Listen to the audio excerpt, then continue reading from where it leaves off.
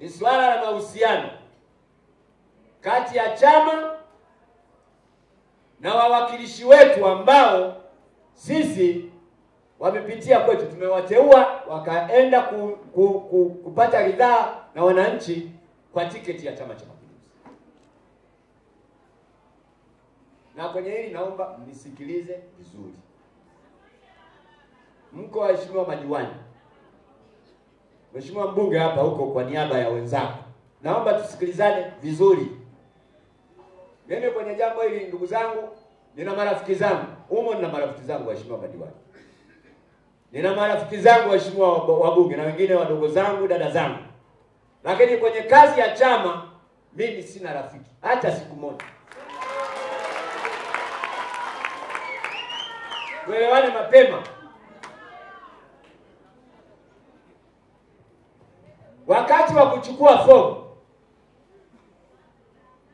fomu hakuna mtu analazimisha mtu kuja kuchukua fomu. Yoyote, na hasa kwenye nafasi hizi. Sasa kwenye chama huko tutazungumza wakati ukifika.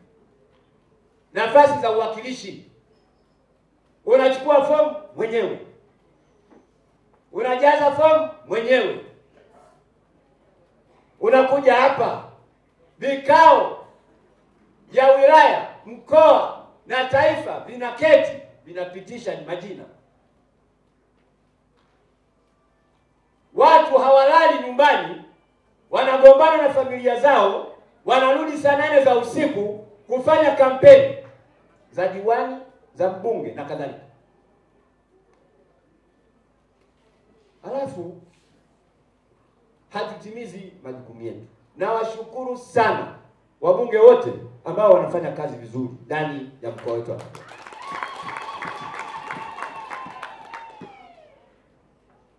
Nawashukuru waheshimiwa madiwani wanaofanya kazi vizuri ndani ya kata zao,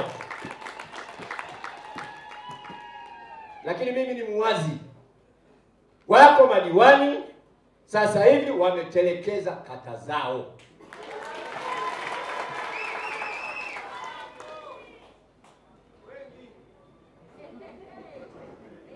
CCM oyee!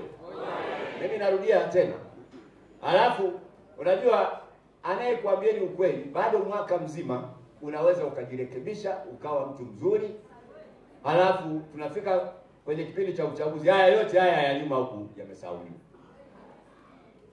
Nendeni kwa wananchi, nendeni kwa wananchi. Na mimi juzi juzi nimesema, narudia,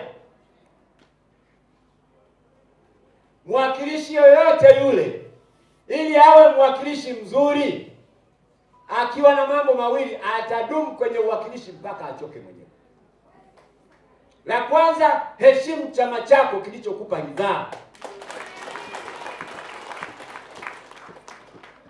Sasa kama wewe ni diwani halafu mia, mwaka hata mzima hujui ofisi ya chama ya kata iko wapi, wewe unaamka unaendelea na safari zako, ukitaka kufanya ziara unaendelea na ziara zako, chama chako ngazi ya kata akijui, haya yatakuwa ya kwako, lakini utafika kipindi chama kitasema sisi hatujui kama huyu huwa anafanya ziara.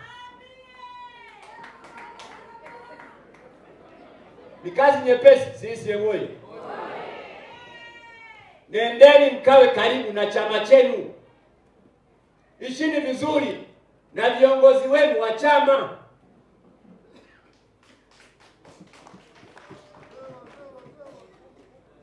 Nikisema kuishi vizuri, si mnajua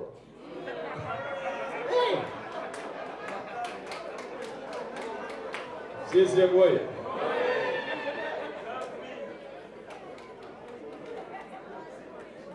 Ah, wala kitu kingine chochote kile. Ishi vizuri na viongozi wako wa chama chako.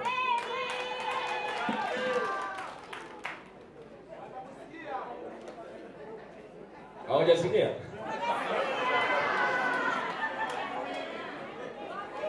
Kwa hiyo niwaombe ndugu zangu, la kwanza hilo nimelisema la chama, lakini la pili, nendeni kwa wananchi. Mambo hayo mawili hao ukiwa nayo wewe na mimi hapa, tumeshajipanga na wenzangu. Diwani yoyote mbunge yoyote anayefanya kazi vizuri tutamlinda mpaka kwa tone letu lote la damu.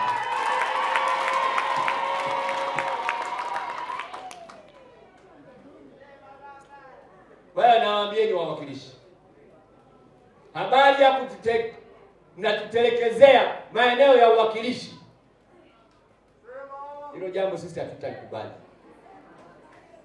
Na mimi hapa na mwenzangu hapa pamoja na katibu, sio ni wajumbe wa halmashauri kuu ya taifa, ukimwacha huyo ambaye anatoka bungeni, na kama atagombea huyo hatakuwa na nafasi tena ya kuingia kwenye vikao.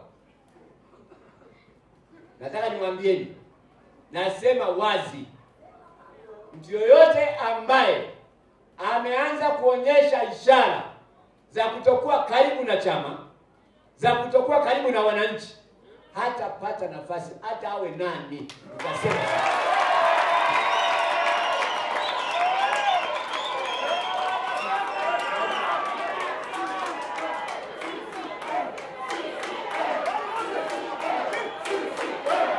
miaka miwili mitatu mine unatelekeza kabisa eneo lako la uwakilishi, huna habari na chama, huna habari na wananchi. Mungu hawezi kukusaidia katika mambo yako mengine unayoenda.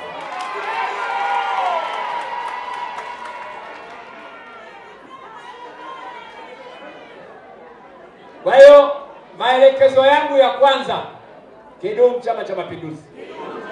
Maelekezo yangu ya kwanza Mwenyekiti, wewe ndio mwenyekiti wa chama wilaya hii. Kupitia kwako na kuelekeza na nakuagiza, pitieni historia ya madiwani, sijui na wabunge wangapi humu kwenye nani eneo lenu, mko watatu, wabunge watatu. Pitieni historia ya madiwani wako wote na wabunge wako wote. Angalia historia ya anayefanya kazi, anayekwenda kwa watu, anayejali chama chake.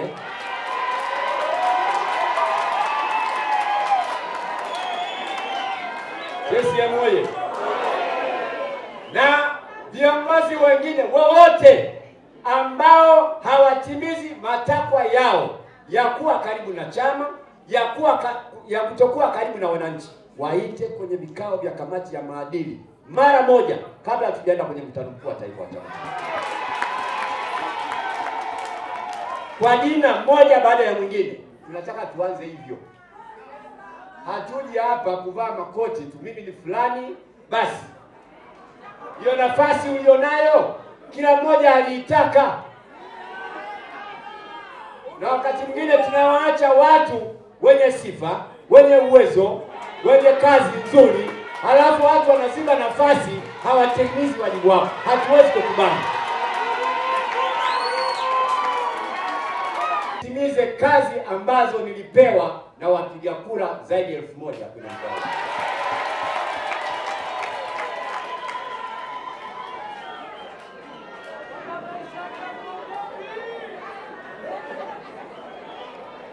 Jambo la tatu, sisi.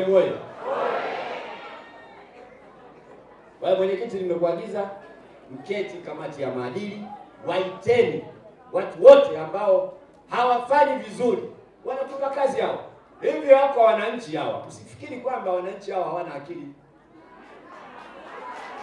Leo kama unamchagua mwakilishi haendi kwa watu, hawajali watu, hana muda na watu, hivi hata kama unamteua mtu mzuri namna gani, unampeleka tena, hawa watu watauliza Nyinyi CCM huwa mnatuletea watu ambao baada ya muda mfupi hawana habari na sisi. Hivi huyu mnayemleta mna uhakika naye? Tuwe tunakujibia sisi hayo maneno? Hatuwezi kukubali.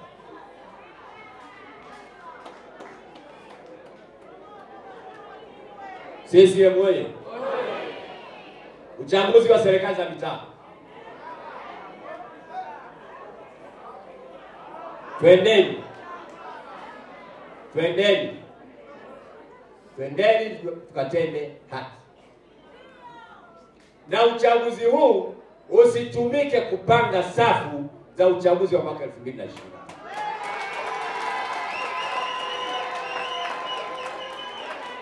hapa tunakwenda kuchagua viongozi wa serikali za mitaa. Hatuchagui mbunge, hatuchagui diwani. Wapeni uhuru watu, na kwa kweli kama wenzangu walivyosema, twendeni tukateue watu ambao watu wanawahitaji, sio wale tunaowahitaji sisi.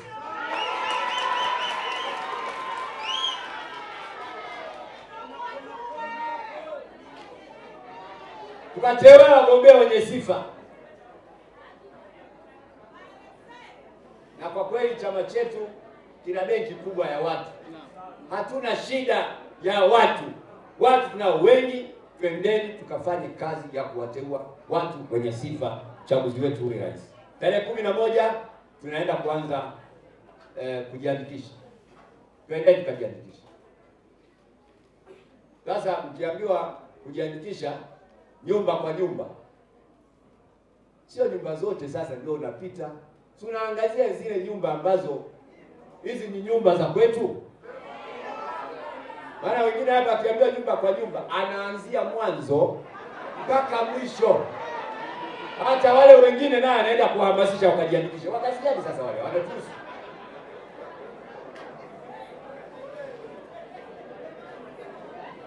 CCM oye!